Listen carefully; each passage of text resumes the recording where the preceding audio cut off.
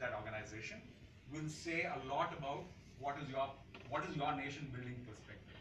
So I think you have to believe that it exists, and you are that person who's going to make it exist. That's why entrepreneurs are like the, the I, I think no end of entrepreneurs because they they say something and they end up doing it. Yeah, isn't that awesome? And isn't that what we're looking for in the world out there? Somebody who'll say something and do that. You know, a, a guy who says, "I will do this for you" and gets it done.